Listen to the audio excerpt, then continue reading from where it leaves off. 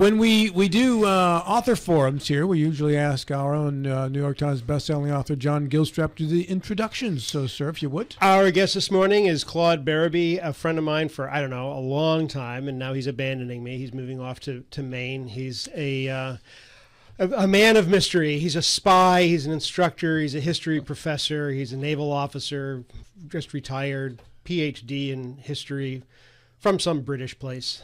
Um, and he's, he's got a new book out. Uh, he's got several novels that he's written, are very good. And I'll let him tell the story, but Rickover Uncensored, it, he got access, Claude got access to the papers of Hyman Rickover. And anybody, I'm a, a Navy brat. My dad was, was in the Navy. And uh, there, we got a lot of stories. Uh, I heard a lot of stories about Hyman Rickover. Um, and they were all entertaining. Um, so welcome to the show, Claude. So tell us about Thanks. your your journey and and the book. Well, thanks for having me. And I think it was appropriate that you started off with Jim Morrison and the Doors. I don't know if you know this, but Jim Morrison's father was an admiral, a Navy admiral, uh, Admiral yeah. George Morrison. Uh, the uh, genesis for this was actually a dinner I was at in D.C. I was at the Army Navy Club with some friends, and an admiral I knew called me over, retired admiral. He said, "Hey, Claude, I want to introduce you to some people." And he says, "Oh, this is uh, this is uh, Ollie North, my old friend from the academy, Colonel North." And this is Eleanor Rickover. And Eleanor Rickover was the second wife of Admiral Hyman Rickover. They married in uh, 74, I think it was. And very nice. We uh, had several chats. She invited me over to the condo that they shared in Arlington several times, had tea and cookies with her. Um, and I asked her, well, How did you meet Admiral Rickover? She said, Well, he was in Bethesda, and I was a Navy nurse at the time. And I walked into the room and there were all these newspapers strewn all over the room and I was very upset. So I yelled at him and I told him he would never ever do that again and he should clean up his own mess. And the next day it was clean and he asked me on a date. so I think it was because she was the only person who stood up to, to Admiral Rickover. Uh, so she, before she passed, she bequeathed her, the entire collection of Rickover materials, including his, his one of his congressional gold medals, his Rolodex, which was phenomenal, but 250 boxes worth of his personal papers, which included letters to his first daily letters to his first wife in the 1930s, transcripts of telephone conversations. Um, memoranda for the record. So every time he had a meeting, he would write a memo about it so he could recall, but also for the for history. And it's just a phenomenal history. So what I did is I spent about six months in the archives going through every one of those boxes and figuring out what it what shows Rickover as in a different way. Give us for the audience who doesn't know who Hyman Rickover was. Mm-hmm. Why is he significant? Why was he significant? Hyman Rickover is known as the father of the nuclear navy because after World War II, he is the one who is assigned to uh, look at nuclear power for our ships. And he is in that position for more than 30 years as naval reactors until his retirement. He's forced retirement in uh, early 1982. Uh, but he's really an American success story. Uh, this is somebody who, at five years old, emigrated from what is now today Poland as a Jewish emigre, had nothing. I mean, there, her his mother bought an orange once a year when she could afford it for the family. Uh, that's what it was like. So he moves to Chicago, gets a gets a nomination to the Naval Academy, and from there on in, he is unstoppable. A voracious reader, and I don't think it when during his time, I don't think many Americans didn't know who Rickover was.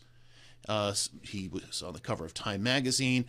He had the media in the palm of his hand everybody was coming to him for interviews. He could choose who to say yes and no to, and that's not common, especially among uh, you know senior military. Um, he was very very close to senior members of Congress, which helped his career. In fact, he was passed over for admiral the first time, and several senators and congressmen wrote to the Navy and said, you know. We think you should have another board to determine whether or not he is of value. And sure enough, they decided, oh, yeah, well, sure enough, look at this. He's an admiral now. Uh, and that continued on through his career for his second, third, and fourth star. Yeah. Uh, any of us that were in the Navy, and I think a lot of other folks as well, knew Rickover by the many, many, many stories. But he was always shown as a crusty, mm-hmm. it's got to be done my way, and anybody that wanted to get in the nuclear forces uh, uh, had to have a personal interview with Rickover, and the, the, the results of the interviews were legend, and they just left, folks left in tears and were totally deflated. But mm-hmm. yet your book paints him a different way. Yeah, for those who aren't aware of these famous interviews that everybody in the Navy seems to know, yeah. uh, he would do things like saw off a part of a chair, tell the interviewee to sit in the chair and see how they would react, or he would nail shut a, a window and then tell them, "Go open that window. It's it's too hot in here," and see how they would react. He wanted people to be honest with him, and if you could do that, you passed. Uh, and there's one story about uh, uh, someone said, "Make me mad," and tell pick up that story. Uh, yeah, Rickover told him, how, "How would you make me mad?" And, and he, the, the midshipman, wiped everything out of his desk, took his boat model, and smashed it against the wall. And he said, "Okay, you made me mad. You you're now in the nuclear power program." You know, maybe we should start that around here on Monday morning. so John would win. Pour water on the control board, and then uh... that would make Rodney mad, which would then make Mike mad. Yeah, so you'd win on that one there. Uh, how long did it take you to write this book, Claude? You, uh, you know what? I chose not to write it as a biography. There have been eight or nine biographies of Rickover, so it didn't take as long. The, the key was the research. What I did is turn this into an edited volume of his papers. I wanted Rickover to speak for himself because as a, about two or three months into the process, I came across a, a memo that he had in talking with a journalist, and he said, "You know, I don't want another biography written of me. I don't want you guys making movies of me, which Hollywood sometimes did. If they wanted to." And he said, "I have all these papers that I've collected in my apartment, and maybe someday somebody will put them into a book." And I said, "That's it." I'm going to let Rickover speak for himself. I am not. I'm going to remove myself as a historian and evaluating him. Instead, I'm going to put what I think are the most important parts of his life in there, and and let him speak for himself. And that's why I I think this is preferable to some of my other books that I've written in terms of naval history. Is that the character is the book. What is the most revealing of the papers that you found about him as a man? Ah, so much uh, the compassion. And you know, the admiral mentioned that you know he was known as a very acerbic, abusive person uh, many times, but I saw these elements of compassion. In 1937, he's in command of a ship in Shanghai as the Chinese uh, the Chinese are being invaded by Japan, and he's on the street, walking on the streets and rendering aid and giving coins to people who are literally dying on the streets. I, I think the most poignant letter that I came across, uh, there was a nine year old kid who had written to him from California named Hyman. And he said, You know, Admiral, uh, my mother says your name is Hyman too. And do you get mad when people make fun of your name? And how do you deal with it? And Rickover didn't always re- return letters, but in this case he did. And he wrote a beautiful letter. You know, this is what the name Hyman means. And, you know, this is how you should treat people. And at the end, he signed his name, Hyman G. Rickover, and it took me aback because in all six months I had never seen him sign his name other than H.G. Rickover. So here he's having empathy for a young child. Uh, his all of his book, uh, sorry, all of his speeches that he did, anything he, he did to make money, all of that went into uh, organizations, you know, orphanages back at the time, or UNICEF's, places that could help people. So mm-hmm. I think his compassion is is is something that's that's been missing throughout all the biographies. One of our Facebook commenters asked, "Do you know the story when Rickover visited Jimmy Carter's office?" Uh, n- several times, actually. He was there in the book. There's there are memorandum for the records from several meetings, not only there but in the condo. Uh, there's about a ten-page memo that he writes after his hit that dinner. Apparently, Rosalynn Carter and El- Eleanor Rickover had met and Eleanor invited them over for dinner at some point. So one night, Rickover gets home, and there's five plates at, at the dinner table, and he says, "What's this?" She said, "Oh, we're just having some guests over for dinner." And the bell rings, and the door opens, and it's President Carter. Uh, and and Rosalynn and Amy. So they uh, they had dinner, and you know exactly what was discussed. And I kind of feel bad for President Carter. I think he wanted like a night off. Instead, Rickover is just peppering him with all these issues, and uh, but it's it's really an interesting relationship between Rickover and Carter because Carter was one of those midshipmen who was interviewed. During the interview, Rickover said, "Did you do your best at the Naval Academy?" And he said, "No, sir, I didn't." And he said, "Why not the best?" And so Carter, when he becomes a nominee for president, that's his campaign slogan: "Why not the best?" So he got it from Rickover. They they had a very close relationship, and so there are a lot. There's a lot of correspondence between the two in this book. There's another uh, naval ad, naval admiral uh, that had difficulty working through the system, working with the peers, and had to uh, have Congress intervene, and that was Admiral Grace Murray Hopper. Uh, and I'm sure you're very familiar with uh, with Admiral Hopper. Yeah, you know it's it's odd. Uh, I had a student ask me if there was anything in here about Hopper, and I found nothing, no communication mm. with Hopper. Who's uh, I remember her from a David Letterman uh, interview yeah. back in I don't know what 85, 86. I was in college.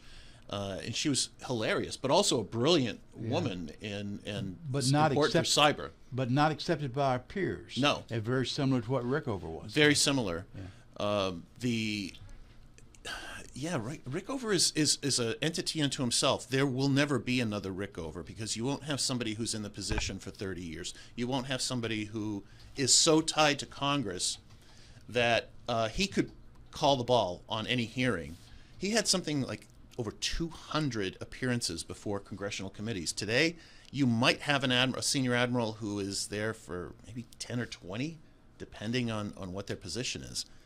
Uh, is that I, an engineered thing these days, or it, it's very controlled? But they knew they couldn't control Rickover because Rickover was so close to Congress. He was so close to Congress, in fact, there was a chairman of a, a appropriations committee who did not want to see any other member of Congress. He had a, a, slate of about a week where he didn't want to talk to anybody. So one member, one junior member, said, called Rickover, said, "Would you call the chairman for me? I really need to meet with him." So Rickover called the the chairman, and the chairman said, "Sure, Rick, send him in," and he got a meeting that way. That would never happen today everything is controlled through Office of Legislative Affairs. But also, Rickover is a very controlling individual mm-hmm. as well. And there's stories that the uh, uh, some of the nuclear applications on research ships. The research ships were not under Rickover. Therefore, Rickover was took great offense at any any work toward nuclear research vessels in the Navy. Yeah, that's true. And the other admirals were also offended that he was trying to get into their rice bowls. Yeah. Yeah. And he, especially with education, uh, and he would testify not only on nuclear power. There was a there was congressional testimony on campus unrest. I was just reading this yesterday, and you know we have campus unrest with the pro-Hamas uh, protesters around the United States, and he's testifying in 1969 about the campus riots and protests, and he says, "Look, here's what you do." all these colleges and universities get money from the government, and all the students are getting money. If they do something illegal in the course of their protest, cut the money off. That's all you do. Cut the off, cut off the universities, cut off the, the protesters from their money, and then that's fine. He didn't oppose legal protesting. It was whatever illegal actions they would take. So 30 years branches, excuse me, branches multiple administrations. Mm-hmm. So with all of this power, he did, did he sort of neuter various secretaries of defense and navy and just all the time. And that, he bypassed them. He would send memos directly to the president, especially when Carter was president. Now, he knew Nixon when he was president because he had known him. He had gone on a trip to the Soviet Union when Nixon was vice president. He knew Gerald Ford when he was a congressman. So again, the, the advantage of Rickover serving for so many years is he got to know them before they were in those key positions. And the secretaries of defense and secretaries of navy were not happy. Uh, SecNavs often tried to uh, get him retired, even in the late 60s, early 70s.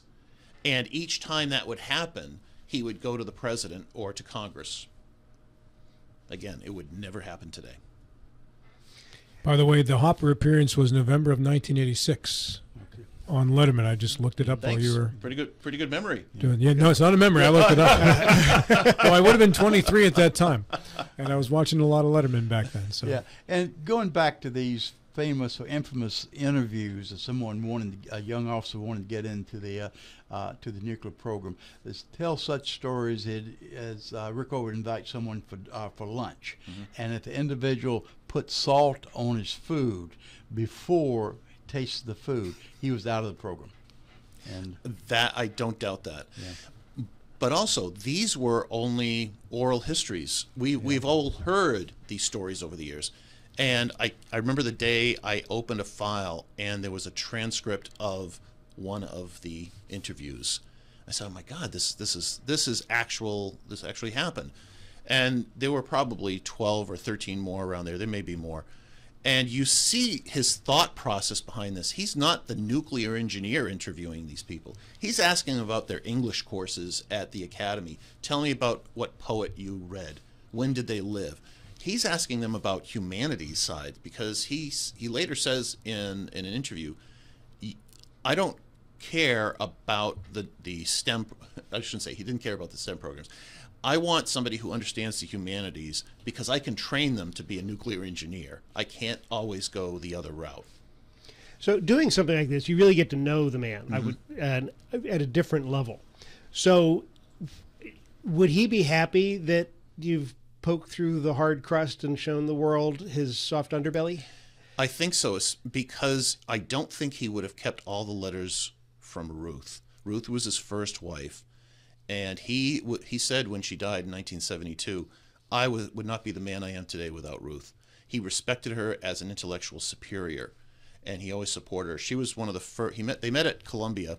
She was, I think, the first woman in the United States to earn her doctorate in international relations. So you see in these daily love letters to and from Ruth, first of all, these some beautiful language which Rickover is using with her. You know, the, the love, truly love letters, but also all the things that they're re- all the books they're reading together wherever they are, or when they go see an opera or play, or he's reading uh, Karl Marx or Adolf Hitler's Mein Kampf, and I'm, I'm reading, like, wow, it, and he's not reading Mein Kampf to agree with it. He's trying to understand the German mindset in the 1930s. But he was also wrong sometimes. There was a, a letter he writes to Ruth in the 1930s where he says, I just read this article about this new atomic energy research. I don't think it's going to go anywhere. hey, we've got about a minute and a half sure. left, Claude. Um, is there anything that didn't make the cut for the book that you wish in retrospect you had put in? Uh, no, I I think that this only represents probably 1.1 of 1% of all the material. So what I say uh, in all my interviews and even at the end of the book, I hope there are historians uh, who look at at this because there are easily another dozen books uh, about Rickover, and against Rickover Uncensored. Mm-hmm.